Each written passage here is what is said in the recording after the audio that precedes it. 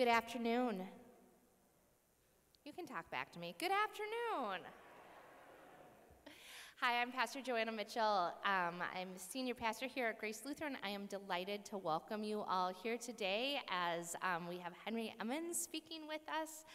Just a lo- couple logistics before I introduce him. Um, down the hall, this way, if you walk out these doors into the right, um, are our bathrooms. So if you can, you can find those. And there's also a drinking fountain down there as well with a, it's a, a touchless. There's little um, water cups that are attached if you need anything along those lines. Um, we welcome you to go and make yourself as comfortable as you need to. Um, you don't have to wear a mask in this space, but like we, you can if you want to. So like it's not a mandatory thing, but just what is your comfort level and what feels good for your own safety and security. Um, I want to say a special welcome to those of you who are joining us online. Um, we are glad you are here, um, and this will be archived on our YouTube page and on our website. Thank you as well, and welcome to our partners who have helped us put together this event Nativity Lutheran Church in St. Anthony, Lord of Life in Ramsey, and Trinity Episcopal in Anoka. We are super grateful and so glad for your partnership and your um, willingness to help us bring Henry Emmons up here today to talk with us.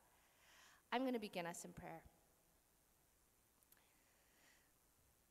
Loving God, we give you thanks for this day for the beauty of fall and the changing of seasons, and the reminder that in transitions, that um, you are a God who leads us through change, who helps us when things are hard and dying, and also promise us new life and new birth.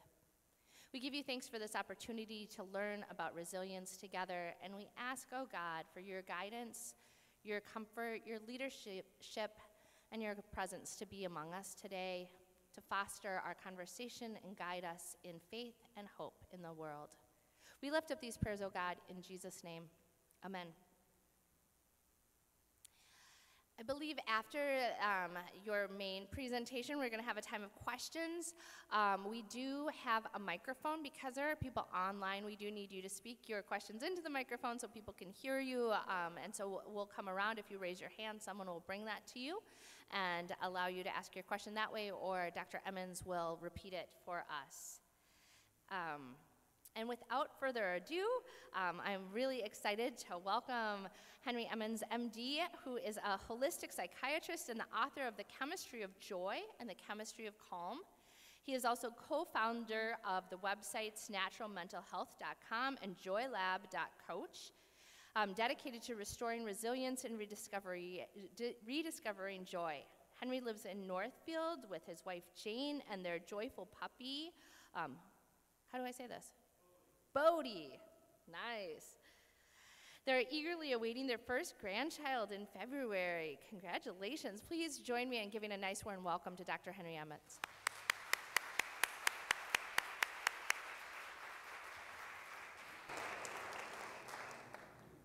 Well, thank you. Um, you're able to hear me okay in the back there? Great. Well, it's a pleasure to be here. Thank you for coming.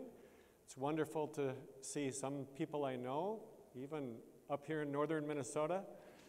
Um, beautiful day for a drive, and so I'm really, really pleased that you're here. So, I am going to um, spend our time today trying to talk with you about how I understand resilience and the things that go into that from a really broad perspective. So I consider myself a holistic or integrative psychiatrist, and what that really means to me is that one tries to weave together anything that helps us to sustain a better mood, uh, greater resilience in the face of stress, and maybe even touch upon joy once in a while. So I am going to start by sharing a picture from a movie that some of you remember, I'm sure, uh, City Slickers with Billy Crystal and Jack Palance, who are here in this photo. So if you remember that movie, Billy Crystal played this slightly neurotic, early middle-aged guy who was having an early middle-age crisis. And his friends and brother-in-law convinced him to go to this dude ranch where he met Curly, the crusty old cowboy. Curly kept referring to this one thing. There's one thing you could do. He kind of implied that if you just did it and you knew that one thing, you would somehow find, you know, your life would work out just fine. But he would never reveal to them what it is. So here near the end of the movie, Billy Crystal has him alone. He's just badgering him as he does ever so well. And he's broken him down. So Curly is about to reveal the secret, the one thing you can do. But then he has a heart attack and dies, so he doesn't find out about it. So I am telling you that if I'm still standing at the end of this talk, I am going to reveal to you the one thing that you can do. I want to um, start then with a story that maybe some of you have heard before. It's a story that I heard as told from the Native American tradition. So, as the story goes, there was a wise old sage, a, a, a grandfather, an elder in, in his community, who had a grandchild about four or five years old, a little boy. And the boy just adored his grandfather, and he watched his every move. So when he was staying with him for an extended time, he saw his grandfather had this pattern to his days. He had a rhythm.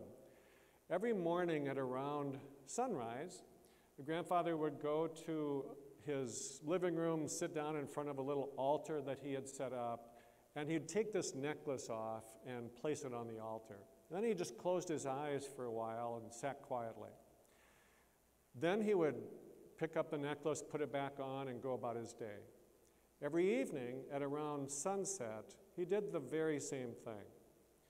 After a few days, the little boy was so curious, he, he just couldn't help himself. So he asked his grandfather, Grandfather, what are you doing when you sit down in your living room with your eyes closed? And what is the necklace you keep taking off? So his grandfather took the necklace off, held it out in his hand, and on the end of the necklace is a silver medallion that has engraved on it two wolf heads. The grandfather says, This is to remind me that inside of me, just like all of us, there are these two wolves. And one of them is really kind of kind and generous and cares mostly about the tribe. But the other one is selfish and um, mostly thinks about himself. And the two of them, he said, are fighting a great battle. So the little boy's eyes are big because he's kind of seeing this very literally. And so he says, Grandfather, which one will win? And the grandfather says, It is the one we feed the most.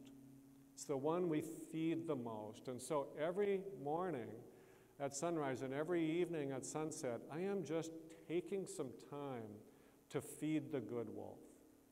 And I'd like that to be somewhat of a backdrop for the rest of this talk because there are so many things that feed the bad wolf that happen without our trying, but they're just there. And we do need to intentionally pay attention to that good wolf from time to time. And I want to talk about a number of ways that we can do that from a whole host of different things. There's a, a, really nice quote from the author of Gone with the Wind, Margaret Mitchell, who wrote, Every problem has two handles. You can grab it by the handle of fear or the handle of hope. And so, again, what I'm wanting to do here is to try to grab this problem, this very human problem, from the handle of hope. But I also believe that we first have to at least name the problem. And there are lots of ways that this, that this kind of problem takes shape. It's not only depression, but I want to give you a little bit of a context because this is such a prevalent thing in our day and age. So, one way of thinking about this is to look at a study that epidemiologists started uh, over 100 years ago in 1910. What they did was brilliant, and they've been doing it now for 110 years. Every time the US Census happens, there is a small percentage of Americans who were given questions to ask about the state of their mental well being. So these are questions very much like what you know, a, a therapist or doctor might ask you about, about depression. And so what they have seen over these now 110 years is that about every measurement, there's been another 10% increase in rates of depression or anxiety in this country. Now, that's a really big change in an historically short period of time. 110 years is not very long in the scheme of things because we, we tend to think of these conditions largely as genetic, which they are to some extent, but our genes don't change in such a short time period. So there's something else going on, and we're going to try to address some of that. So that's one perspective. Another way of thinking about this, there's a psychologist named Martin Seligman who's very well known for helping found a field of psychology known as positive psychology. And he frames it this way he says, if you're born after World War II, which of course is most of us now in this country, your chances of becoming depressed are about 10 times greater than if you'd simply been born around 1900. So, again, in a very short historical period, there's a big change in our susceptibility to things like depression or anxiety. Now, um, I want to share one last thing about this that most people are not aware of, and that is that depression ranks as the number one most common cause of disability in this country. So, people who are unable to work for any health reason at all, depression is the most likely reason for that. And that has been true in our country for quite a while. But it has not been true in much of the rest of the world. So, the developing world, for example, they've historically had far lower rates of these conditions than we do. Lots of possible reasons for that, but no one knows for sure.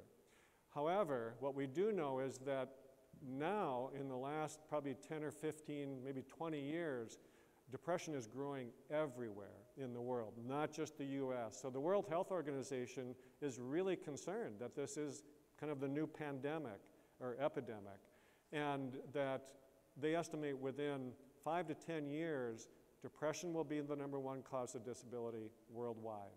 So again, the, the, the problem is real. You know, we do need to acknowledge it, we need to see it, we need to try to understand some of the causes behind it, mostly so that we can take measures to try to change it. So I really see this problem largely as an erosion of resilience. And so I'm going to say what I mean by resilience in a little bit. But I just think that, you know, again, our genetics haven't changed in this short of a time period.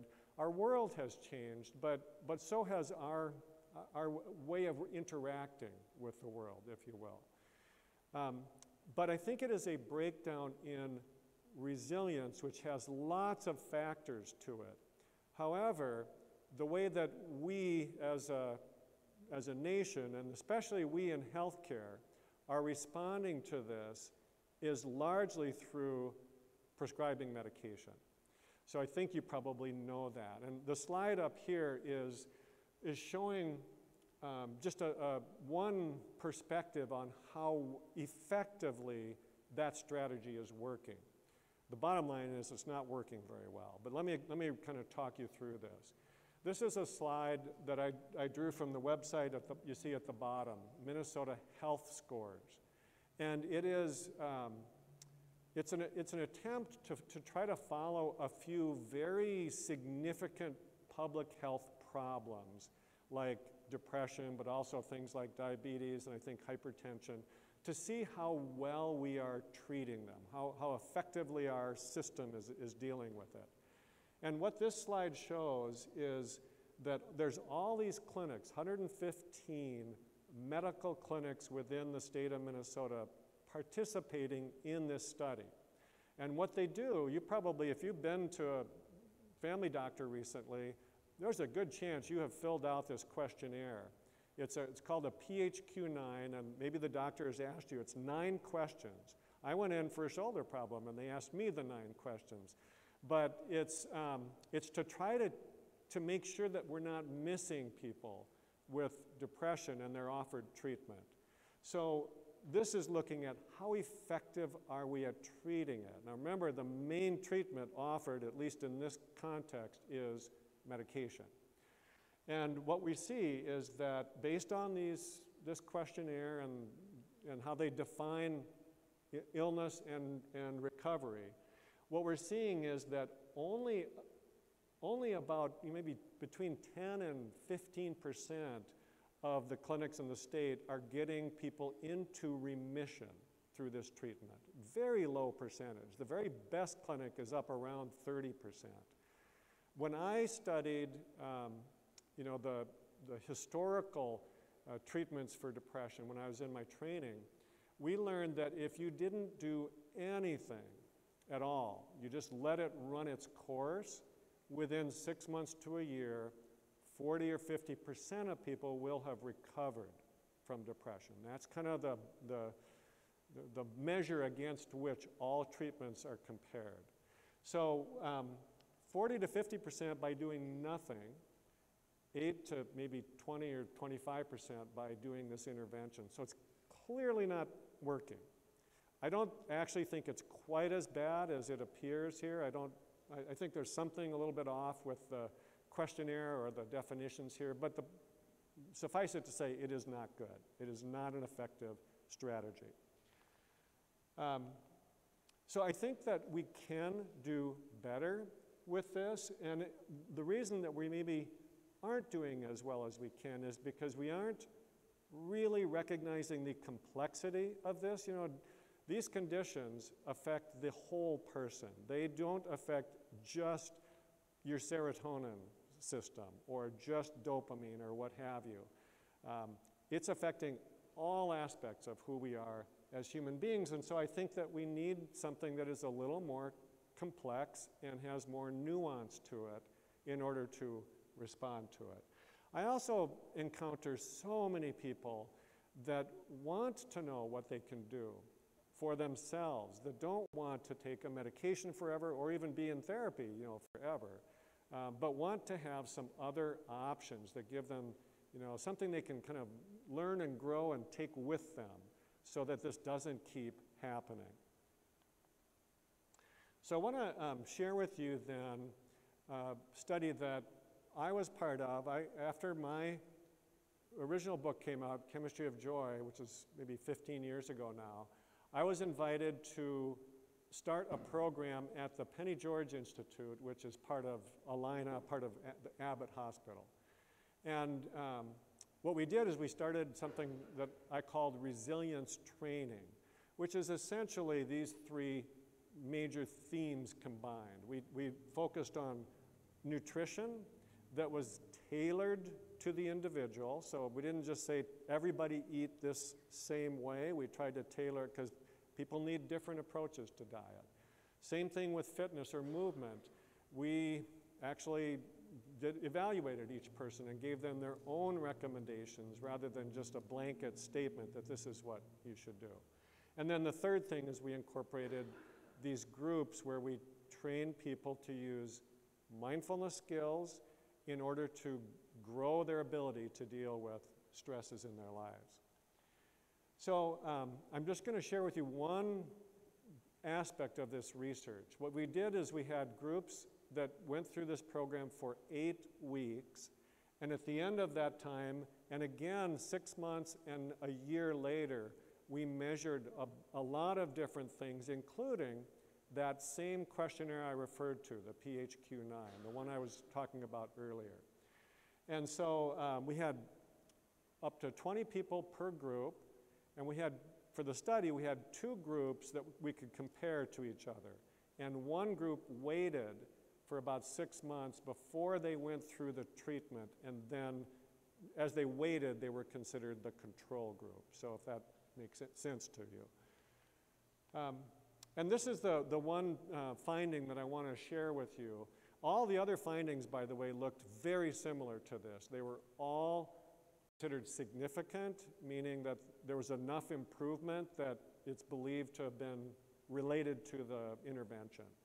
And so, what this shows here is just that questionnaire, the, the score on the PHQ 9. And beforehand, the scores were quite high. They were clearly in that range we consider depressed. And at the end, the scores were considered to be in remission. Um, 50, no, 60% of people reached complete remission. Remember, that's compared to about 10 to 20%.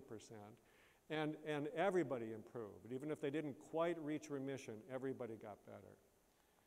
So I want to talk about why, why might something like this work when other things don't work quite as well. And I want to now share with you my way of thinking about resilience. And I'll, I'll talk about this little picture here, which is a metaphor I use to think about resilience. So, to me, I believe that resilience is absolutely natural, built in, part of who every one of us is at birth, and it's something we carry through with us our entire lives, but to different degrees. So, this water cooler image is, is just a, an image I use to think about how one person is different from another on this continuum of resilience. So, if you imagine a little tank, a little container in your body, maybe in your brain, that has in it an elixir that is what you, what you use to deal with life's stresses and difficulties. And everybody has this, but some people are blessed with a very big container, a big capacity for dealing with all of these things. And other people have a very small one. There's two things that determine that, I think the size of the container. One is your genetics, which you cannot change, the second is the environment in which you grew up. You can't change that either once you're, once you're our age. But you can change your relationship with that, the way that you perceive or think about it or remember it. But still, you know, the, the environment that you grew up in sets a tone that is with us most of our lives, really. A little bit hard to change. So that's important, but it's not the end of the story. The really important thing, in my view, it's not how large this container is, it is how much of this magical elixir is in it. So, no matter the size, no matter your capacity, as long as you are doing the things that keep you somewhat filled up, you're not going to develop symptoms of depression or anxiety. And on the other side, you know, if you have a large container, but over a three year period, you've lost your job, you've gotten divorced, your, your kid is in trouble using drugs or something, and maybe your parents are aging, and you know, we've all been there. It happens to all of us at some point in our lives where all of these things kind of stream together in a relatively short period of time, and it's depleting. It's just very hard to get through. So, um, can happen to anybody, but it really is in our interest to find out how do we keep this thing filled up? What are the factors that are draining it away? And then what can we do to fill it back up? That's really what most of the rest of the talk is going to be about. I want to frame this um, in in kind of newer scientific findings. So the, I, I call this the science of hope because we want to use these ways of understanding to grab this by the handle of hope. And um, I want to talk about these three things genetic expression, neurogenesis, and neuroplasticity. And I'll explain these as we go. So we'll start with genetic expression. I think it's commonly understood that when we're born or when we're conceived, we have this genetic makeup, our DNA, that stays with us pretty much unchanged throughout our lifetimes. I say pretty much because as we age, it does start to fray around the edges just a little bit. Um, there's things do tend to come apart slightly. And so there, there's things we can do about that. But by and large, our DNA is, is we're stuck with it. But what hasn't been as well understood, and it's a pretty recent scientific finding, is that the DNA is the blueprint, but whether or not that shows up in our bodies depends on a lot of other factors, and that's what's known as epigenetics. Epigenetics means that basically you might have an illness gene, you might carry a gene for an illness, but it only shows up if it gets activated, if the gene, if a switch gets turned on. And the, the picture you see here is if you imagine that around this double helix, these DNA strands, there's a lot of other genetic material that was thought to be just extra stuff. It was referred to for years and years as junk DNA. But we now know that it's actually where these switches get turned on or turned off. It's like a series of gateways or pathways that, that the, the message goes through in order to get to the cell and get translated into building some kind of protein or enzyme or something. So it's, it's a series of gateways that can be turned on or turned off depending on certain conditions.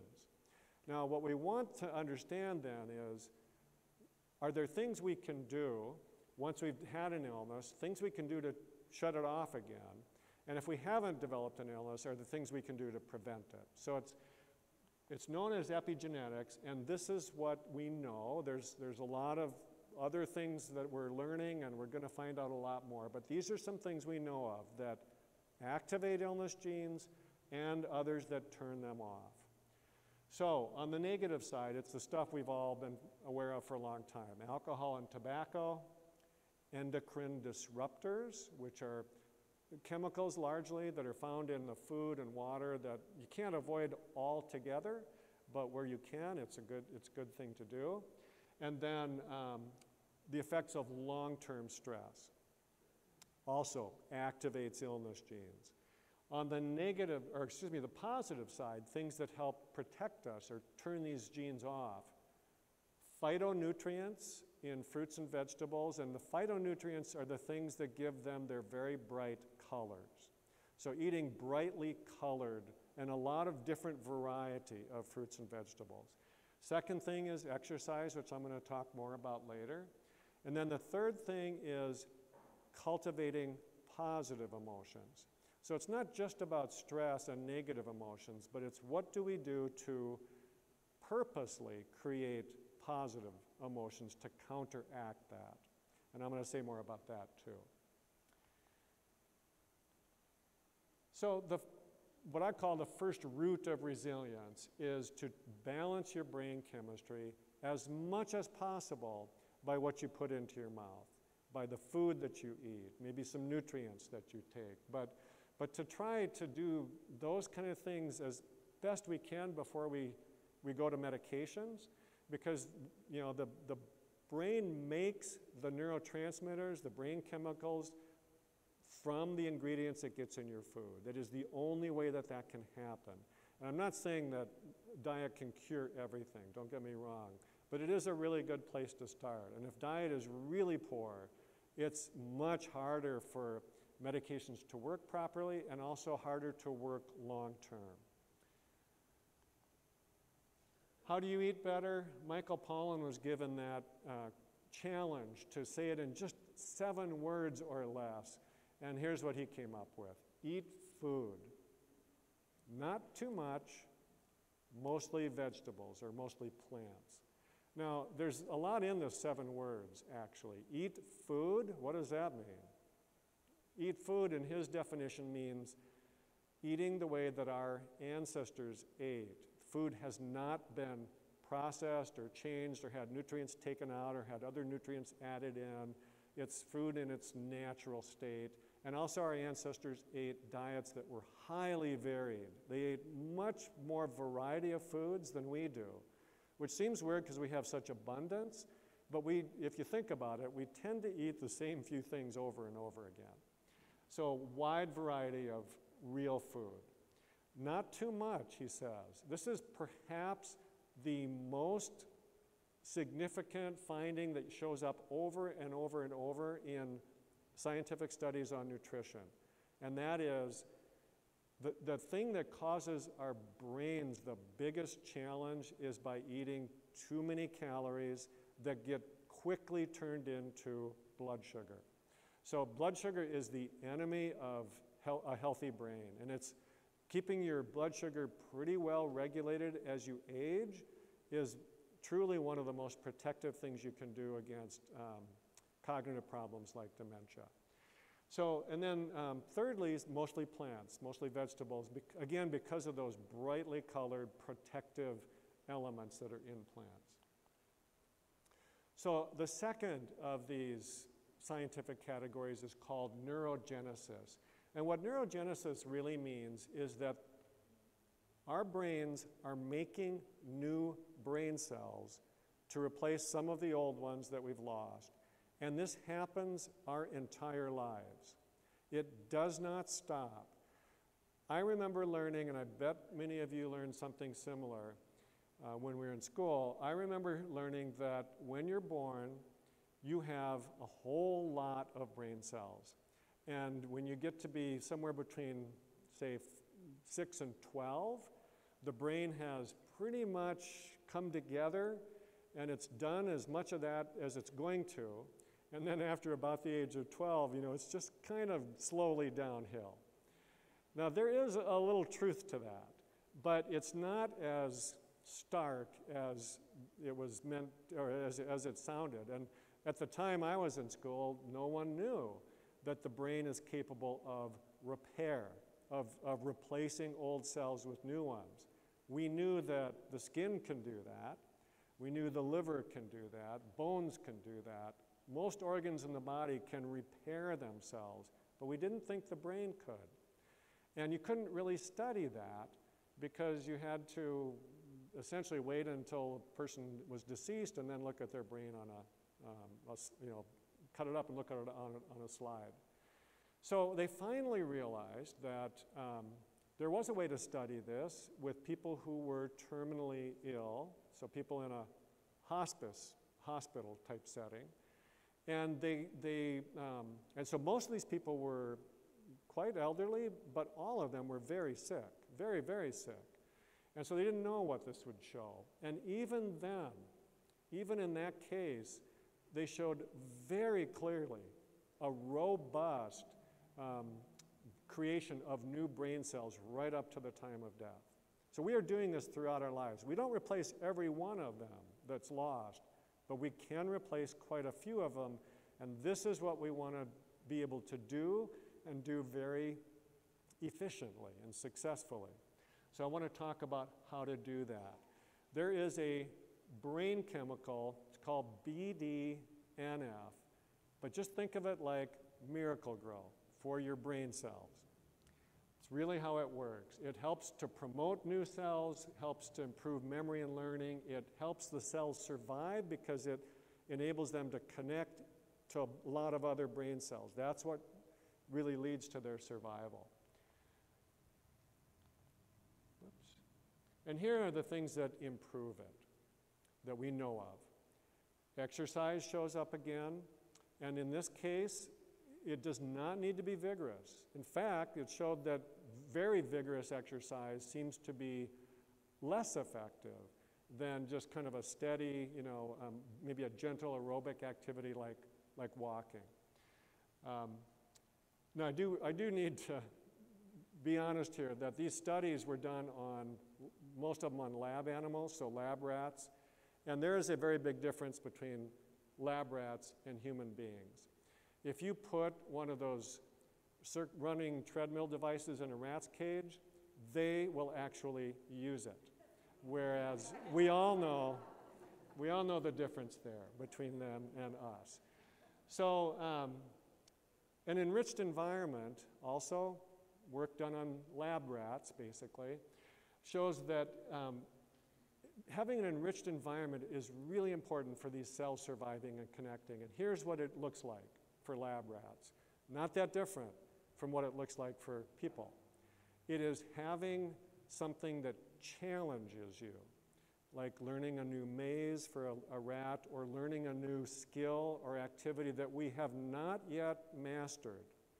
So it's something that, that makes us a little bit frustrated at first. And then it's, it's working through that frustration, learning it, kind of you know, creating some mastery, and then having that satisfaction. That's what's so good for the growth of these new brain cells. Really, really good for brain health. Um, so it's, it's being challenged by something, and it's also having toys to play with, and then having playmates to use those toys with. So being challenged, playing, and having playmates. Third thing, you see diet shows up again, and very similar list. Calorie restriction means just don't eat too much, especially of the sugary foods. Phytonutrients shows up here again, and then omega-3 fats, which you can get in you know, seafood, nuts and seeds, olive oil, those, those good healthy fats.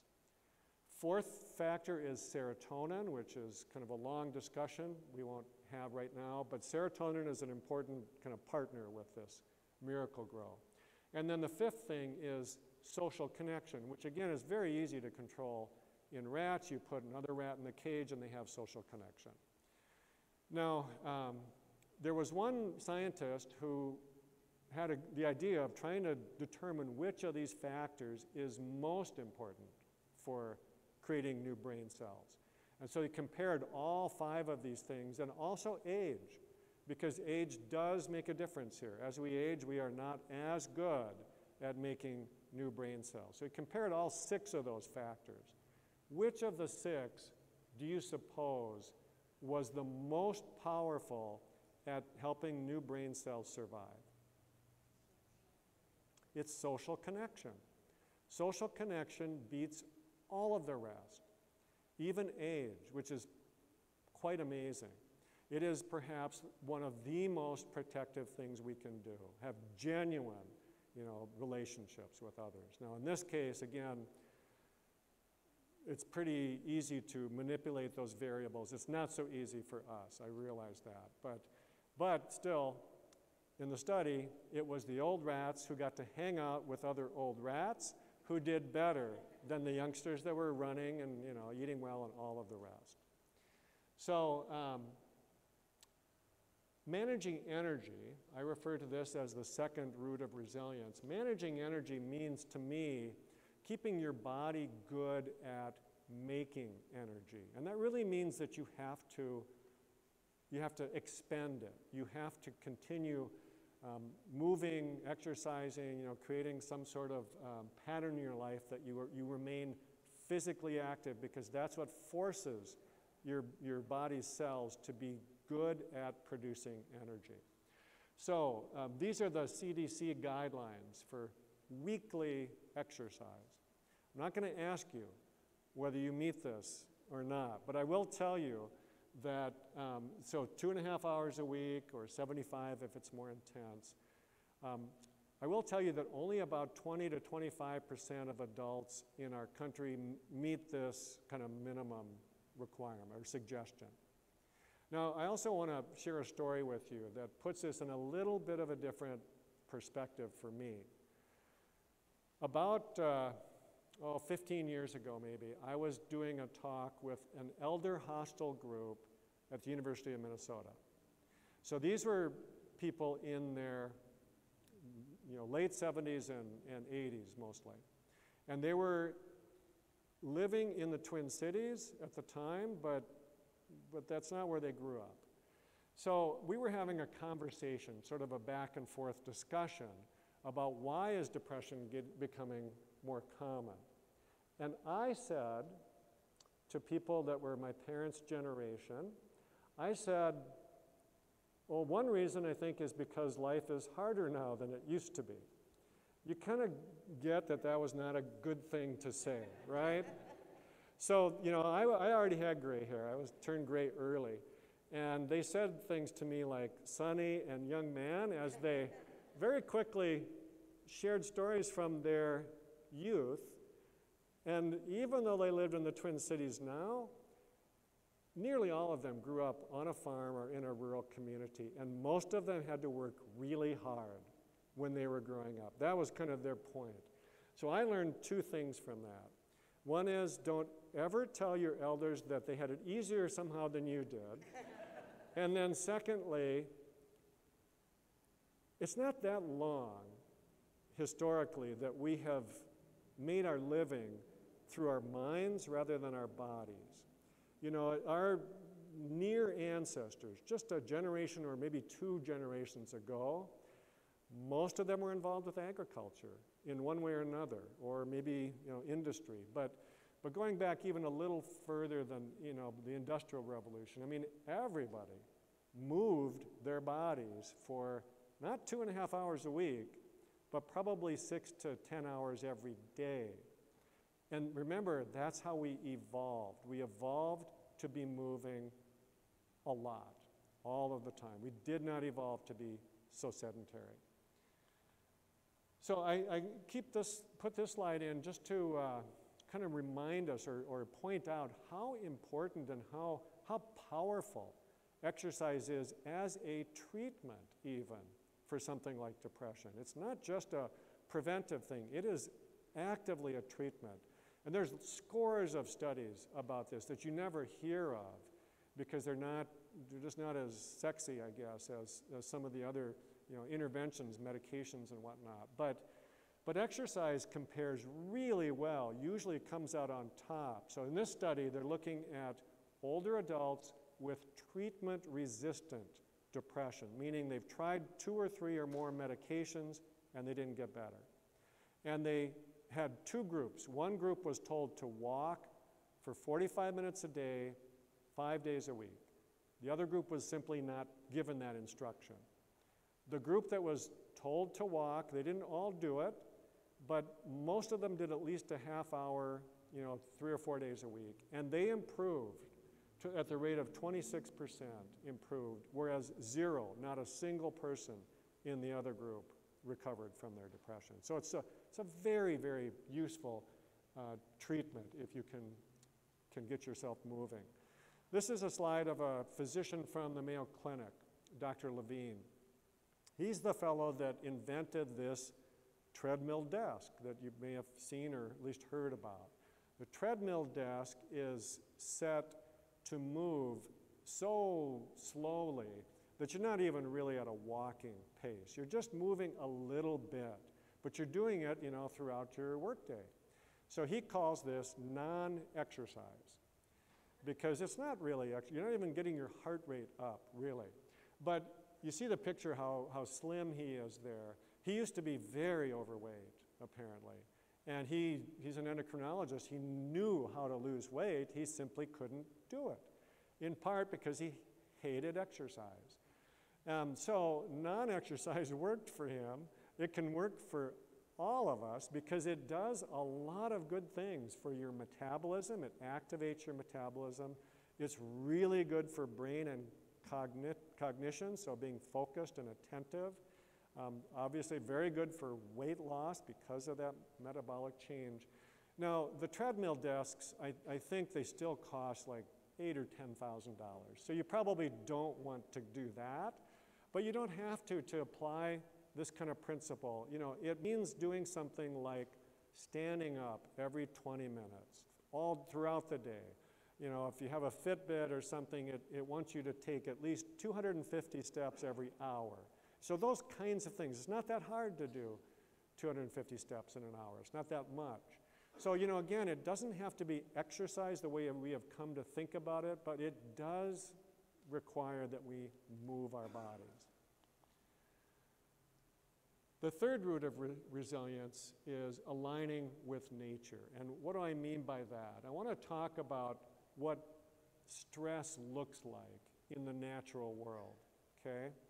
And I want you to be thinking about what, how differently we relate to stress in our lives. So this is a, the, the title of this slide is actually the name of a book, a very good book, called Why Zebras Don't Get Ulcers.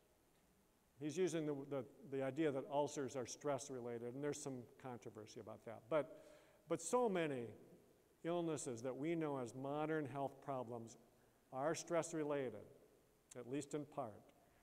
So he's saying that in nature, they don't develop these problems because wild animals, animals in the wild, do not suffer from chronic stress.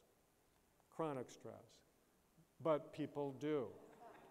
So this was this picture here, I think it was photoshopped. I don't I'm not buying it, but but I, I do want to share with you uh, kind of a picture. I'm going to describe for you an event that um, I have seen you know, this on a video, and you could probably find it yourself too. But this is a video of what happens in the wild when an animal's life is threatened.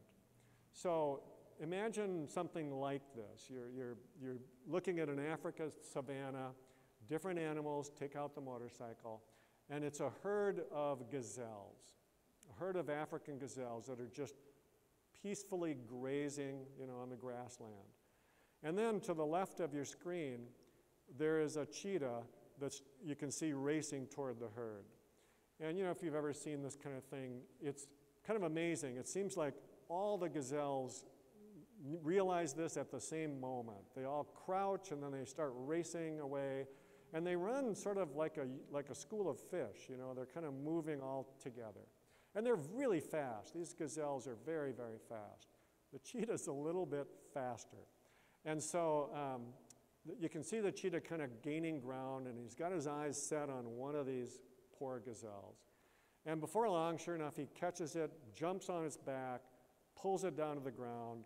The gazelle's body goes stiff. And as I'm watching this, I think it's just been killed. But it hasn't been killed. There is a third option when fight or flight don't work. The option is called freeze. And it's automatic. The animal's not thinking, oh, it's time for me to play hide and seek, and maybe he won't notice. It's just an automatic reaction. You freeze. People, some people do this when they're, you know, in a real, very traumatic situation. It's no shame in it. It's just an automatic reaction.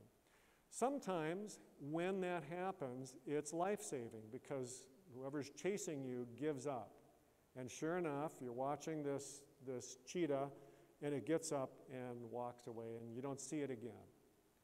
Now, I'm watching the gazelle and it's still just laying there. I still think it's dead. But then it starts to move. And then it gets up on its knees and it's really wobbly. And then it gets up on all fours, even more wobbly. And then something really strange happens. The gazelle's body begins to shake, shaking just like, like mad. And it goes on for what seems like a very long time. It's probably two or three minutes, but it's just shaking its entire body. Apparently, what's happening there, and this is applied to um, some um, treatment programs for trauma with, with uh, humans, that is that if you relive the trauma and you shake your body very vigorously like this, it is, in a sense, kind of resetting you know, it's, it's like rebooting your computer in a way. And, um, and so you keep watching this gazelle, and the shaking stops. And then something even stranger to me happens, which is that the gazelle walks over to the rest of the herd and starts grazing again as if nothing had happened. It is not carrying its stress with it which we do because, as Sapolsky says, we've evolved to be smart enough to make ourselves sick. We think about it. We ruminate, we replay it, we think, what, did I, what could I have done differently? You know the, the story, all of these things. So, if you were to measure the stress hormones in this gazelle, you would see within probably milliseconds of the th- realizing the threat was there adrenaline would shoot through the roof. It's just like that. And that's what gives the animal or gives us the power to run or to fight. And, um, but that only lasts about maybe 15 to 20 minutes, 30 minutes probably at the most. You can't sustain that for very long. So that's a quick on and then a pretty rapid drop off. But there's a second stress hormone called cortisol. It doesn't start to rise for a few minutes, probably takes four or five minutes before you could measure an elevation, but then it does go up and it stays up, in this case, it stays elevated for about 24 hours. If you were to watch the gazelle for the next 24 hours, what would it be doing? It'd be eating and sleeping. It would be restoring its energy. That's what cortisol helps it to do. That's part of its job to make to increase the hunger so that you restore all these calories and to um, initiate the rest cycle. Now, there's a third thing that it's doing that you don't see, but it's really important, I think, if we care about our brain as we're aging. And that is that cortisol stimulates the memory center. It's like pushing on that memory button. It's really, really important. Why? Because you don't ever want that to happen again. You want to remember how you got in this pickle and hopefully what you can do to avoid it so that it doesn't happen again. It's a survival thing. That's really okay in the short term. It's really not okay for your brain in the long term. You know, we just talked about neurogenesis, making new brain cells. This is one of the reasons why we need them, because brain cells cannot be always activated, always turned on. They, they don't do well with that. They're much more likely to die off, particularly in the memory center. So again, as we're aging and we care about cognition and you know, keeping dementia at bay, learning to manage stress, we can't avoid the stress, but learning to, to change how we relate to it can be really, really helpful and important. One aspect of that, and I'm, I'm not going to say too much about this because I, I do a whole half day workshop on sleep. It's super important. But, but I, what I want to leave you with is this notion that if you are not sleeping well now, and sleeping well doesn't have to be perfect, you don't have to sleep st- straight through the night, but getting roughly seven or eight hours most nights with maybe just one or two kind of hopefully brief interruptions. If you are not sleeping well and you're not feeling rested in the mornings, keep learning and working on this until it improves. It is such a crucial factor at sustaining um, good mental health. It's probably, you know, it's, it, it is clearly one of the most protective things that we can do is to keep our sleep more or less intact. Um, if you had depression, major depression, and your sleep was, was off kilter, if you got your sleep on track, your chances of recovering just double. You just improved your chance of recovering by 100%. If you're not depressed and you started having trouble sleeping, you just increased your risk of becoming depressed by 100%. It is that important. And then, um, probably don't need to say this in this audience, but, but I might. I'm going to say it anyway. And that is that in my lifetime, I have seen us as a society, as a culture, largely give up this notion of Sabbath and what it, what it is and what it means. Now, that may not be true for, for all of you or for you know, this church, but, but look at our society. It is very clear that people don't take a day to rest and restore themselves, much less do what this author suggests. You know, that consecrate your time with your attention, your mindfulness, listening to what is most deeply nourishing. So I really think whether it's, you know, in a formal way like you might do in a you know, active church congregation or something else, we really need to be attentive to having time to pay attention to what gives us most meaning and most of a sense of connection. And then the third and final aspect of the science of hope is neuroplasticity. Um, probably most of you have heard the term neuroplasticity. Simply put, it means that the brain is able to change itself and create new connections, new neural pathways throughout our lifetimes. This never stops. It never stops. Really, the only question is what kind of path are we creating? So, let me give you a metaphor here, too. I think this is a useful image. Picture yourself standing in front of a grassy meadow, and it's got long, tall grass that no one has walked over before. And then you walk across it one time, just one time only. That is similar to what happens in the brain the very first time that we have a particular um, sequence that, of learning or we've had a particular thought or emotional reaction to something or just been challenged and had some resolution for it. It's, we've, we've created a very, very mild pathway. If you walk across the meadow and you look back, you can see where the grass has been bent down. But if you don't do it again, it's just going to disappear.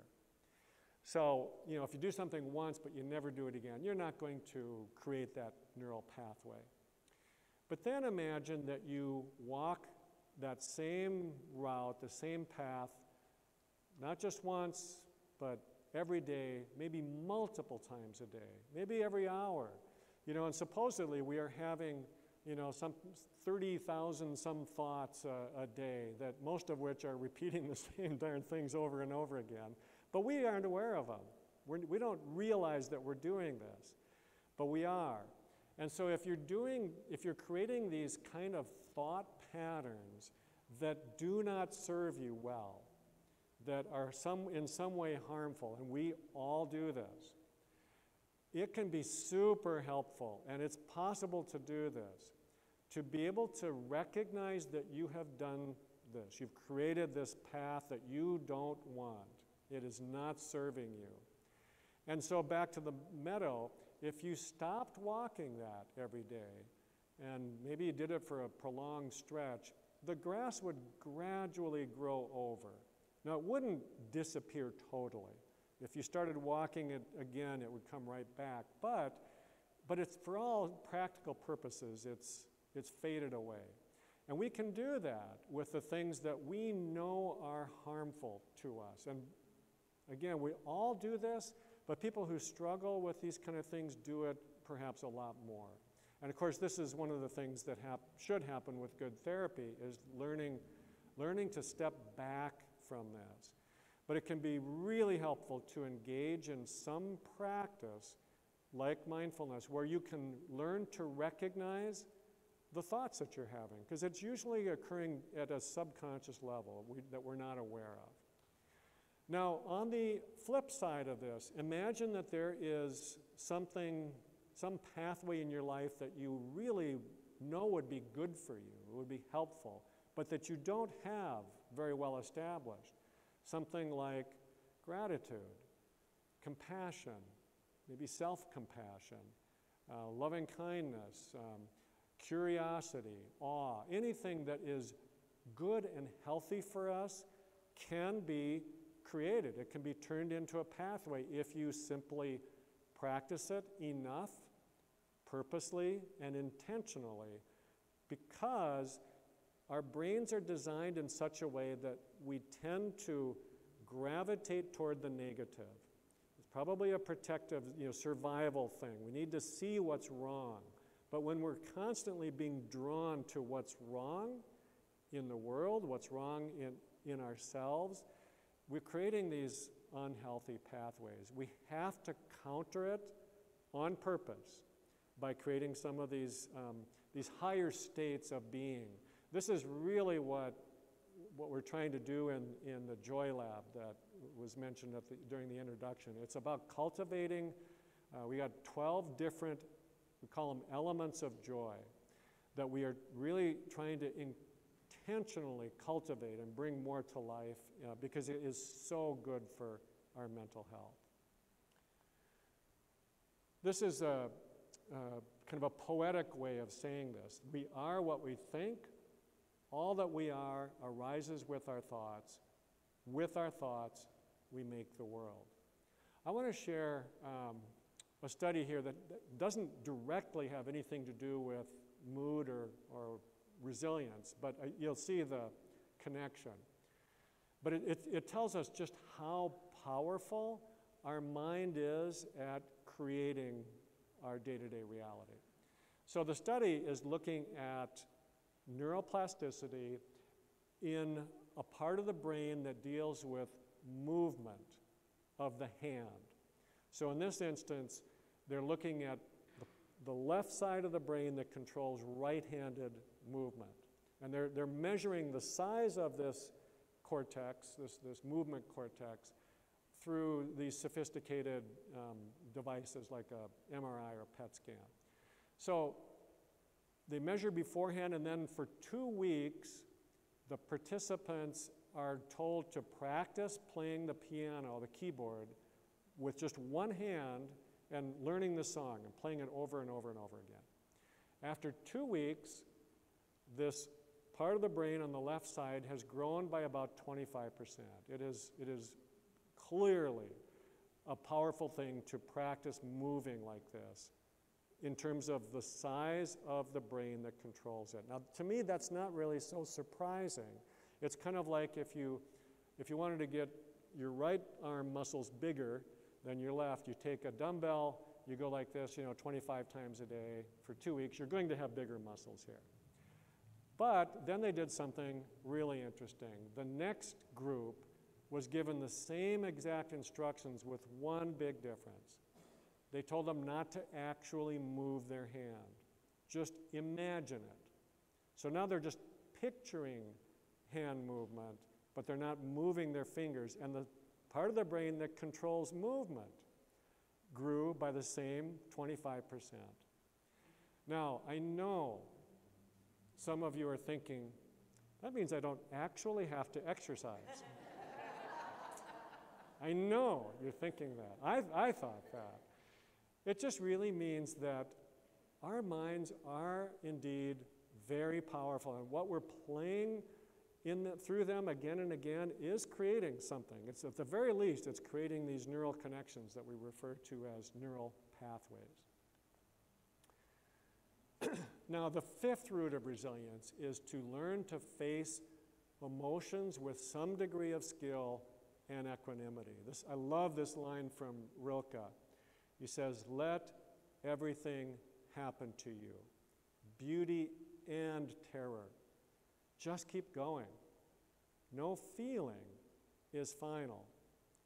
If you've ever been in an episode like you know panic attack or bad depression or something, you you know what I'm talking about here. You believe that the feeling is the final word. It's never going to change. And so there's this this thing called emotional reactivity that some people may have naturally more than others, but it's also something that we tend to create where we something happens and we have a too strong emotional reaction to it.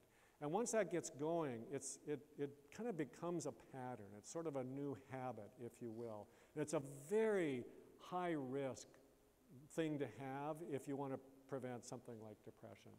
So, learning to to um, recognize how we are doing harm to ourselves by our thinking and this emotional reactivity, again, gives us a, a way out of it. I want to share uh, another image with you. You see the, the picture here of a warrior batting away arrows, you know, back in the day when that was how people fought. So the concept here it refers to the first and second arrow. So imagine that the soldier is out in the battlefield, just like we are every day, if we're out there living our lives, the slings and arrows are coming our way. There's no avoiding that. You can try to, you know, bat them away and, you know, dance away from them as best you can, but the longer you're out there, you're, the, the more likely you are to get struck by one of these. You are going to be wounded, going to be hurt. But that's the first arrow, which we can't really do too much about. There's pain, there's hurt, none of us are exempt. But then imagine that in response to that, being struck by the first arrow, the soldier takes another arrow out of his own quiver and stabs himself with it. That's referred to as the second arrow. It sounds ludicrous, and yet it's something that most of us do constantly because of how we think about what happened, how we think about ourselves because such and such a thing happened. So we pile it on. You know, the, the initial wounding is there, and then we just make it worse because of how we think or react to it. That is known as the second arrow. And I told you about how why we have to intentionally create more of these positive ways of thinking and feeling because of this negativity bias, because our brains are a little bit more geared towards judging, being critical, looking for what's wrong. The sixth root of resilience is what I call cultivating a good heart. I also love this quote by Hafiz. He says, Love is the great work. It's kind of true. This is really what life is about. Love is the great work. But, he says, every heart is first an apprentice, meaning we have to learn. Love is something we might feel spontaneously from time to time, but really cultivating a good heart, one that can stay open, that can stay connected, that can really learn to love in a greater sort of way, that takes effort. It takes time. It takes an apprenticeship, if you will. I talked earlier about the two wolves story. I want to share a little bit about this research, looking at um, at these Buddhist monks. This was something that was very it was a very big study a few years ago. You probably remember seeing or hearing something about it. it, it the study occurred not far from here at the University of Wisconsin, and um, what they did is they brought in these very experienced Buddhist monks to measure their brain activity in what's called the prefrontal cortex. Now, this is, I think this is the brain's version of the two wolves, because on the left side, right behind your forehead, the left prefrontal cortex, if, if that's more active than the right, you're in that kind of that good wolf state. You're feeling more open. You're feeling more connected, more generous. Um, you're not so self absorbed. You feel warmer with other people. You feel safe. When the other side is more active, it's just the opposite. You're kind of in the bad wolf. You're feeling closed in, um, unsafe. You, you might feel a little suspicious. You might feel a little bit irritable or angry toward others. You push others away. Now, why would we have both of these things? Because they're both important. There are times we need to be kind of protective and close, you know, kind of close ourselves off and be a little bit suspicious and so forth. But we don't want to live there. We don't want to live in that state. And these monks, because they practiced this thing called compassion meditation for decades, in, in some cases, they are really, really good at activating this left side, kind of opening up the good wolf, if you will. So the research here hooked him up to this you know, very, very fancy, uh, sophisticated measuring device to, to measure the activity in these two areas of the brain. And then the monks were given the instruction to, to view a picture of a little baby that had a deformed skull or some, some deformity on its head, and, and just told to try to create a, a heartfelt sense of compassion for this little child. So that's what they did, and in seconds, their left prefrontal cortex was activated, just lit up, like so much so that the researchers were thinking something was wrong with their equipment. Then, after you know, repeating this with several of these Buddhist monks, they took a group of people, probably not so different from us, well-meaning, um, people who maybe believed in this kind of thing, but had never really practiced or been trained to do this. And they gave them the same instruction look at this picture, try to fill yourself with compassion for this child. Nothing happened. The, the right prefrontal or cortex kind of stayed equal with the left, it didn't change. However, with just a very short period of training, just a couple weeks of, of you know, a few minutes a day, learning to open yourself up, learning to hold attention on either your own or someone else's suffering with compassion. And they were able to activate this left hand side at will rather than just by chance. I mean, I think all of us, if we're confronted with something, we might be able to, you know, to feel compassion or caring about another person. But be able to do it just because you want to, because you choose to do it, that's a different level of skill. And it's incredibly protective. Feeling that way, feeling open, safe, caring, generous, is such a qualitatively different experience than to feel kind of closed down and a little bit hostile or, or irritable. And then finally, the seventh root of resilience. Probably the most protective thing of all is to create deep connections, meaningful connections, not just with other people, but of course, yes, with other people, but also with a sense of something greater than yourself, something that gives you a sense of meaning, purpose, and also, I would say, with your deeper inner self, your soul, if you will.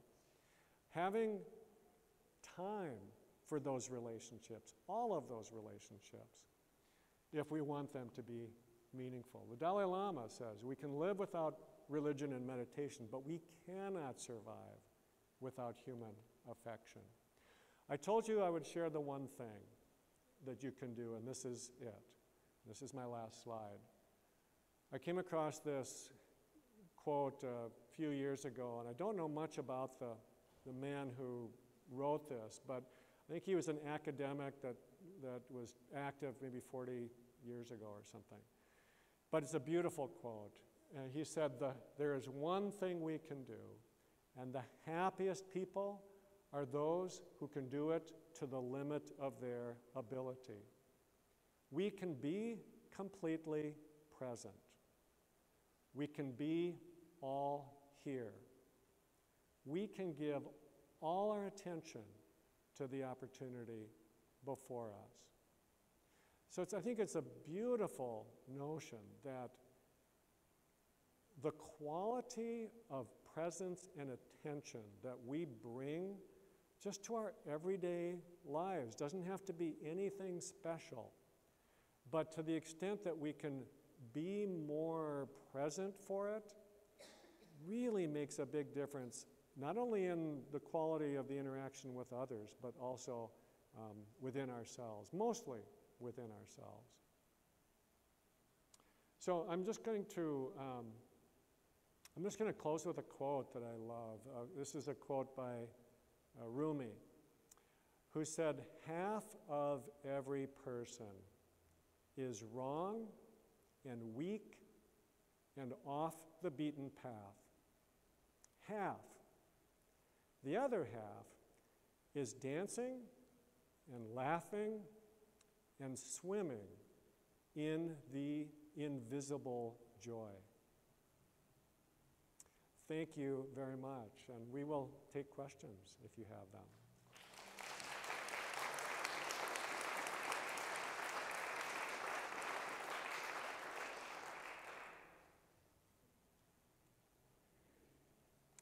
And if you do have a question, raise your hand because we, we, want, we want you to use the mic so that um, people who are streaming it can hear as well. Thank you. Um, agree with your philosophies and, and your teachings and what you're saying. Um, I have a question as to how um, you can reach younger people to, that are maybe struggling with particularly anxiety and depression at younger ages. It's like it's an epidemic right now. And do you have some yes. guidance on that? Yeah, so the, the, yeah, the question is about you know how do how how can younger people who are clearly struggling, even more probably than adults right now, um, how can they be reached? How can they be helped?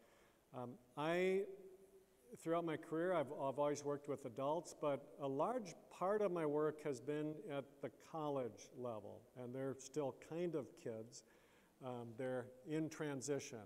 And, and that is the age, you know, that probably 16 to 25 age range is when most kind of ongoing mental health problems begin. So I, have a, I do have a perspective on that, and I think it's a really important question that you're asking. And I can tell you, every college campus in the country right now is struggling to meet the needs, to respond to the level of crises. It is, it is really um, concerning. I totally agree with you.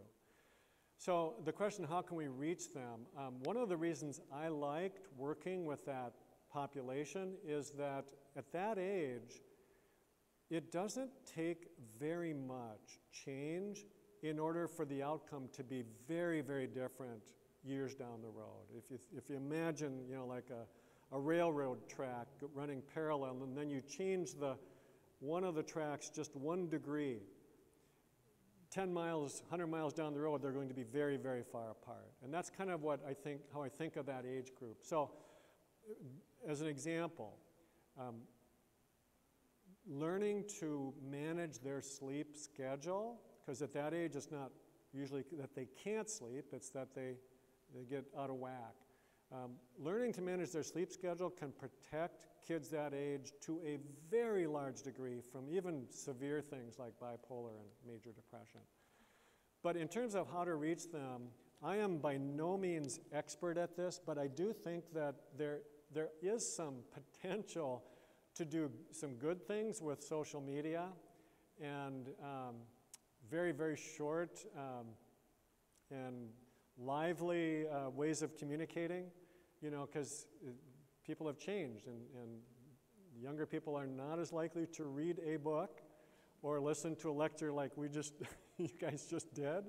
So, you know, it, I think it, it, it means really being creative and getting um, programs and education out there in a medium that they can really relate to and, and that they are likely to go to. I actually just did a, um, a panel discussion about this uh, just last week, I guess, and uh, because it is such a big concern. And there were some very good ideas about how to help parents limit their kids' exposure to social media, because you know that is a big driver. It's a very, very big driver for this.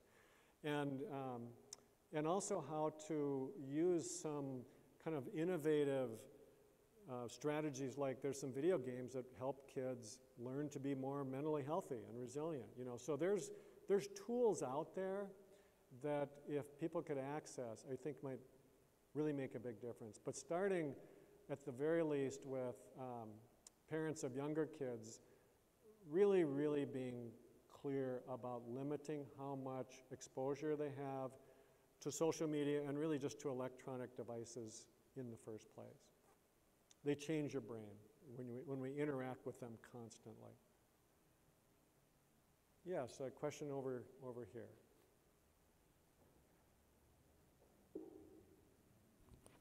Yeah, thank you. That was actually really helpful. So whoever asked that question, that was helpful. Um, we have a teenager, she's 14, who has struggled a great deal with anxiety and depression, and we're trying every med on the planet, and they just cause their own issues, which just make things, you know, worse. And you mentioned doing a, um, setting up something through Courage Kenny, this resilience training stuff, and, and I was just curious, are there programs like that out there for young people? And um, I mean, like we've got her in outpatient day treatment right now with the school component. I mean, is this, it just seems like we're missing a couple, I mean, she's learning to journal and develop some of that neuroplasticity stuff, but the nutrition, the exercise, that kind of thing, just seems to be really lacking. And um, do you know, I mean, you mentioned having um, started something with Courage Kenny is there, are there things out there? Yes, there are, there are things out there. Um, there is a program that I, I, I know the, the founder quite well, and she's very good, and the programs that they offer are very good. I think the, I'm not sure I have this right, uh, the name of it, but I think it's called Move Mindfully.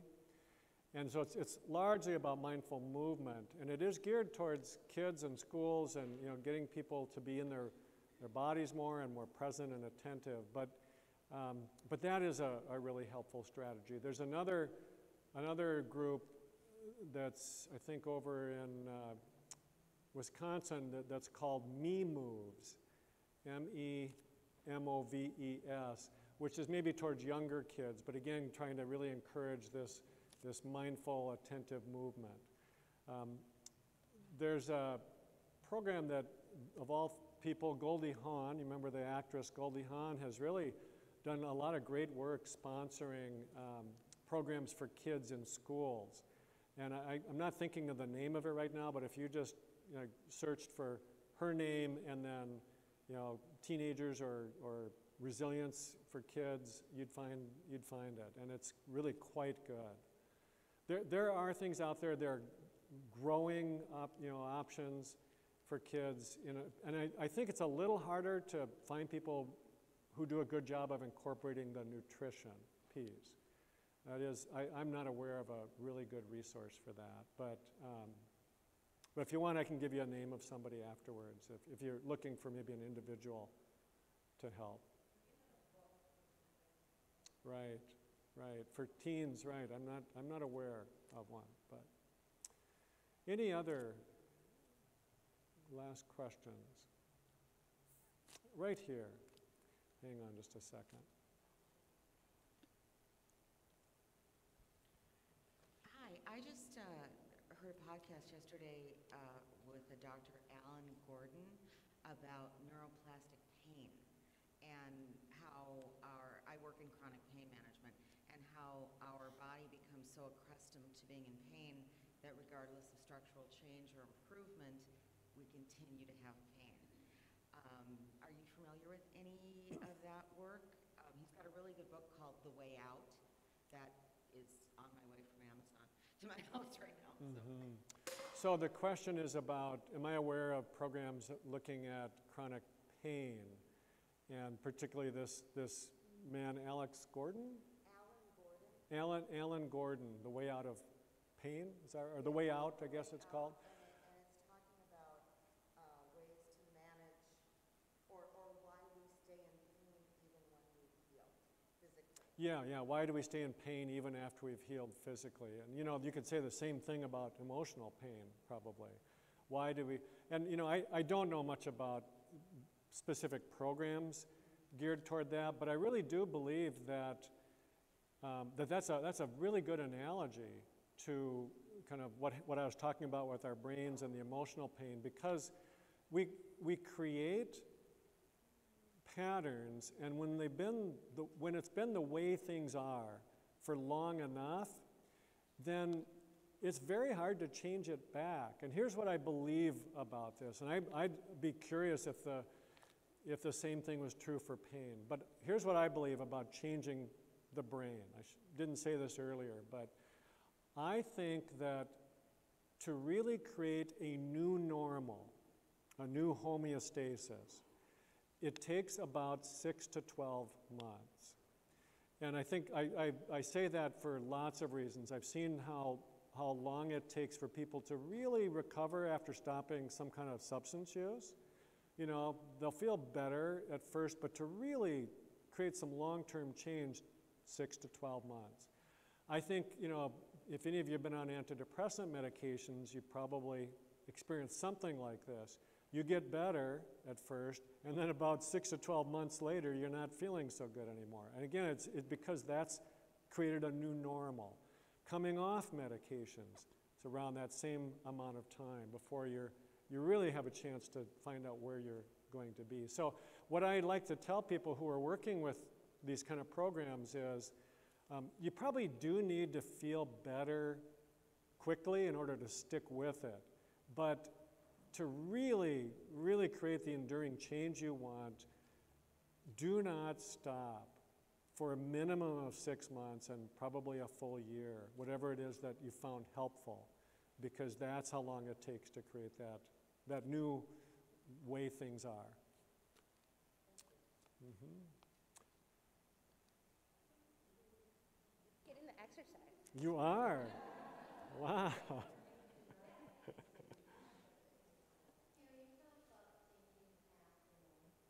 You're in this meadow and you're changing a path. You don't want to keep going down this negative one. You want to direct it to a new one, the positive one, you know? How do you do that? How do you do that? How do you do it? Yep, yep. So I'm gonna, um, I'm gonna try to talk kind of briefly about this. It's, it's not an easy, it's not an easy thing to do, but, but I'll try to give you a sense for how one does that. So um, let's say, let's say we're, you want to cultivate compassion. Okay, you want to you want to have be able to have more compassion, maybe for yourself. Okay, let's let because you know people who struggle with these things usually they're very very hard on themselves. And so let's say that instead of being hard on yourself, you want to create a gentler, kinder way of viewing yourself.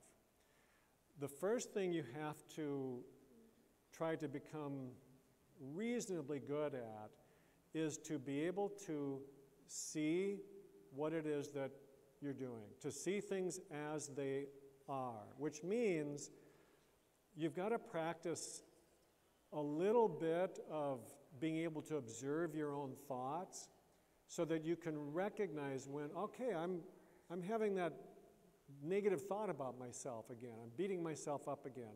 You don't have to become like a Buddhist monk. You don't have to become really good at meditating. You just need to be able to step back from your thinking experience enough so that you can see it. Okay? So you get, first you got to see what is. Second thing, which is also really difficult, is to you, you also need to accept that things are the way they are. Now I want I want to say more about that because it, it's not quite what it sounds like. You don't need to resign yourself and say, I'm not going to change anything. I can't, you know, feeling like you have to just give in.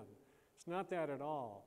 It just means that you have a lot more strength and ability to change things if you really, really start from where you're at, which means accepting, okay, this is simply where I am right now. This is how things are in my life. This is what I've been doing to myself without beating yourself up about it, but just kind of acknowledging that this is, this is how things are. And then the third thing is to act wisely. And that means um, take some kind of, you can't leave it at the level of thought and acceptance. You do need to make changes. You need to take some form of action. I say wisely because there's all kinds of actions we could take that just make things worse. So, you know, you, you need to have a little bit of ability to kind of sort them out and say, this, this looks like a healthy action to me.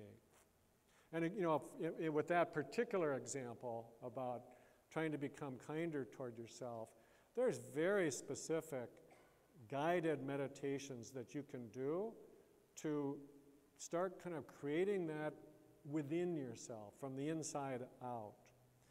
If you do it even a few times, chances are you will start to notice that you're feeling a little bit differently toward yourself. Now, this is such an involved process that, you know, right now I'm in the middle of creating a like a whole year's program, you know, the, called, the, it's the Joy Lab. So, you know, if you're interested in doing this, it's very affordable, it's very accessible, but it, it allows you to practice these kinds of things. There's a new, a new element each month, and we walk you through it. Every week there's a different exercise you, you can practice, or different recorded. It's called joylab.coach. If you go to joylab.com, you're going to find a nice line of Target clothing, very brightly colored Target clothing.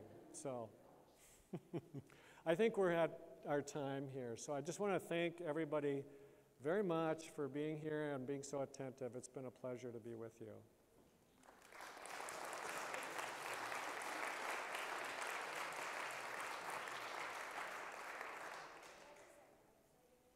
Oh, the website again, it's called joylab.coach. Joylab.coach. Coach. Well, Dr. Emmons, thank you so much. I know I learned a lot today, and I'm excited to take some of this stuff home with me. Um, once again, thanks for coming out. What a wonderful day, and what a privilege to have you here. Thank you. My pleasure. Thank you.